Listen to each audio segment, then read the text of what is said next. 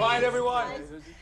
I'm sorry that I didn't make it all the way down the stairs today, but baby steps. That's right, Mom. Oh, my Karen, my baby, all grown up. I so wish your father could have been here today. I wish he could have seen you, our sweet girl, all grown up.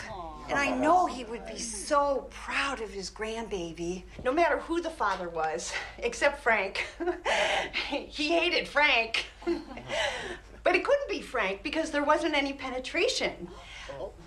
Eddie didn't like being penetrated. He had a funny bump on the side of his penis that we thought was cancer, but it turned out I was just being too rough on him. Oh. So there's been some obstacles and some pitfalls, but she's made some wonderful, wonderful friends along the way, like Lip and all the Gallaghers, people I just used to only know as the ones in that house where the cops always came. Jesus. Is that bitch ever gonna shut up? Oh.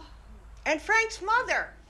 We're just so honored that you're here, even though you weren't even invited. And not really honored because you're a convicted felon.